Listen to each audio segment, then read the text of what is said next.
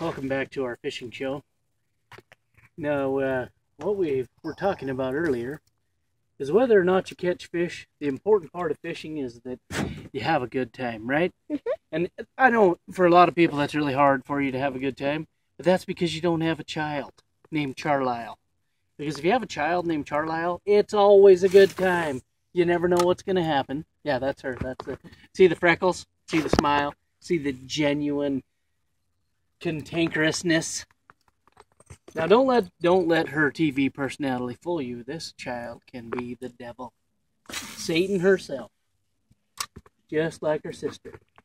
But what I'm saying is the point of fishing is not whether you fish, catch fish or not. It doesn't really matter whether you catch fish. The real Get off of me! Oh my god, quit your whining for Christ's sake. We're trying to make a video. It's just a bee. Get it off of me, It's Dad. not even on you. Sorry, people. Now we got to start all over again. I had a that was a really good video too. Can we look somewhere where there's not that many bees? No, we can't move somewhere where there's no bees. We're in Montana. I can go to Wyoming, or I can go to Mexico. There's bees in Wyoming too. You fart knocker.